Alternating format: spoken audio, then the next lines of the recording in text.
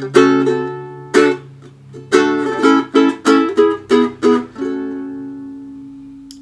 I'm Brad Bordessa from liveukulele.com. Welcome to part one of a three-part series on reggae strumming.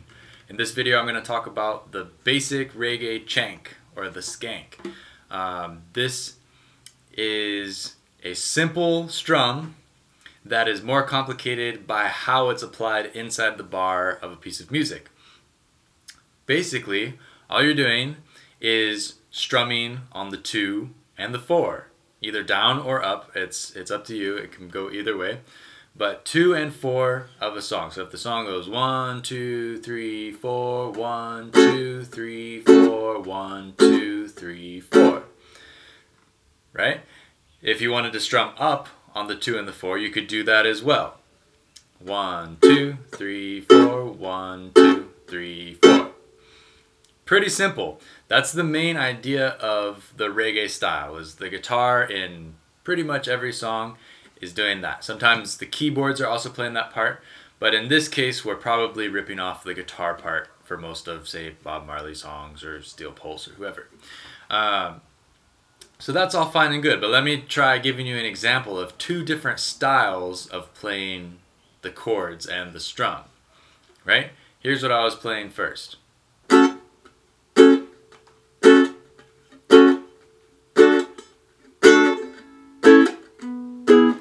Then here's the alternate version.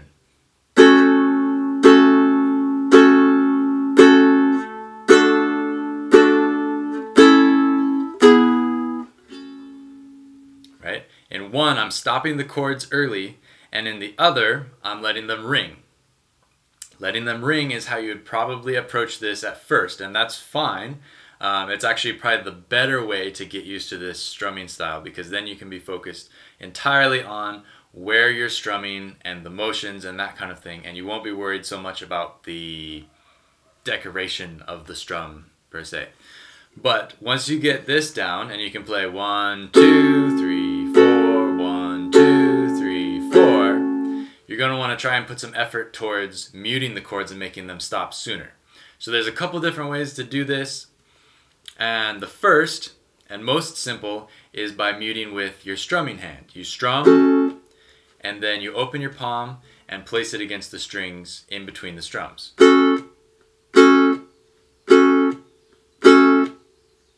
right? Nothing too magical about that. You can also do it if you're strumming up. It's more natural that way because as you strum up, you need to drop your hand back down and as you drop your hand back down, you can just go to that mute rest position with your palm on the strings. Right? So that's the basic version of that one. The second way to mute a chord and this doesn't necessarily apply to notes, but it also can kind of translate a little bit, uh, is a full chord mute where you play, you intentionally play a chord that uses notes on every single string, and then you release your fingers of your fretting hand when you want the chord to stop. Okay, for instance, a lot of you might be familiar with this B flat shaped C. It's basically a B flat moved up two frets right? And it becomes a C, it sounds like a C chord, it looks like a B flat. But because I'm covering all the strings with this chord, if I release these fingers, not all the way off the strings, but just enough so that the fretting contact stops, I kill the sound of the chord, like this. Just by lifting off that little bit between a fretted note to just resting my fingers on the strings where it's just a muted sound. If you lift off all the ways, um, you'll get string noise and it won't be quite as clean. And then you also have to worry about holding your ukulele up more and the neck falling down when you do that. So when you release the chord, just release enough so that the strings become muted. Like I said before, this has to be done with closed shape chords, right? It's got to, there's got to be a note on every single string. Otherwise, you end up playing things like this. If you were to try and do the same technique on a normal C chord with your third finger on the third fret of the bottom string, you only have one note that you're fretting, so you're only going to be stopping one note if you lift up. It doesn't have the same effect. All I'm muting is that bottom string and it just kind of doesn't work too well.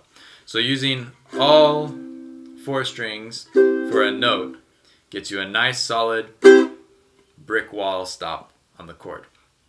The third way you can mute is with your pinky or another unused finger on your fretting hand. This is by far the more advanced technique, but if you can get it figured out and use all these three kind of in combination, you're gonna really have a lot more control over when your chords start and also when they stop, which in my opinion is almost as important, right?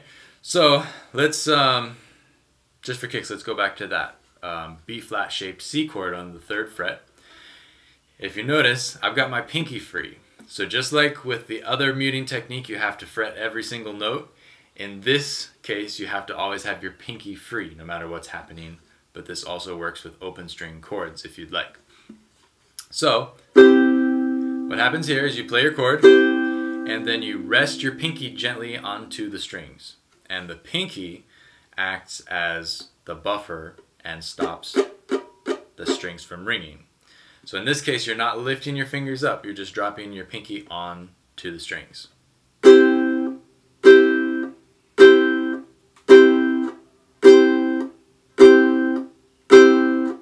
Right?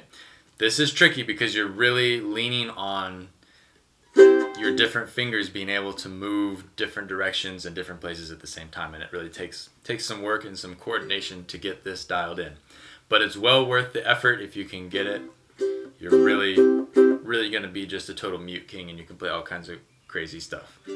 Uh, so you can also do the same idea with your third finger or really any other finger you have left over from a chord. So say, just for kicks, I was to play an F chord. I could use, instead of having to use my pinky, which is good, if you can use your pinky, that's great, but you could also use your third finger, or both of them. So if I wanted to use my third finger, I honestly can say I don't do that too much because that feels a little awkward. I'd rather use my pinky because that's what that's what I use most of the time. And usually if any finger is going to be free from a chord, it's going to be your pinky. So, you know, 9 times out of 10, it's more likely that you'll be able to use your pinky if you're using the three other fingers. If that makes any sense. So, moving on from there, by being able to stop the chords like that, you can apply that to the reggae strum and make it much more convincing. Instead of everything ringing out long like a normal ukulele strum, you're going to be stopping things intentionally and that tightens up the sound and really sort of feeds your rhythm through a pinhole of precision. So, there are, of course, different lengths you can let the chords ring, right? If my time is like this, one, two, three, four, one, two, three, four, one, two, three, four, right? That would basically be every chord I'm playing is ringing the full length of the beat. So I play, I count one, then I play on two and let the chord ring for the full length of two, but when I get to three, I stop the chord. So this is kind of the, you know, the lesser of sounds you could have for reggae. So uh, in some cases you're going to want a really extreme sound and in some cases you'll go more the gentle route like this. So by playing the chord for the entire length of the beat and then stopping it when the next beat comes along, that's probably the more gentle approach, right? So one, two, three, four, one, two, three, four. This is probably a good place to start experimenting with your mutes because as you count on timing, your strum is going to happen and then your mute is going to happen when the beat drops, right? So it's kind of a tick-tock thing and you can keep the time by having these two actions happen. Mute, strum, mute, strum, mute, strum, mute. Um, so that's beneficial in that case. But as you improve and get faster at creating the mutes, whether it be with your, the palm of your strumming hand or by lifting off on the chord, you can make the mute happen faster and the chord will ring for even less time, right? So if I really cut the, the chord short, you know, that might be ringing for maybe a 16th note or an eighth note out of the entire bar.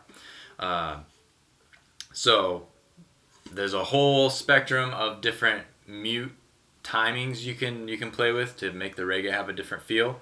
Um, but in general, the shorter you make the chord, the more precise it sounds, and the more more of a driving feel it's gonna have on the song.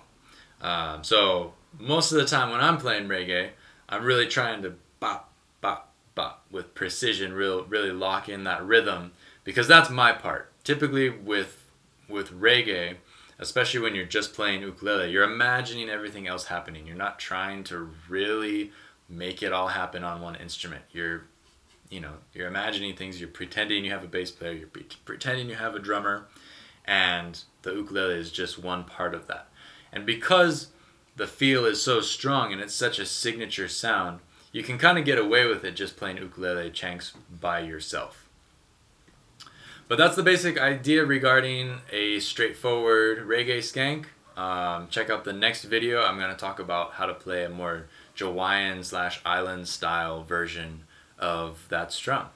Until next time, aloha.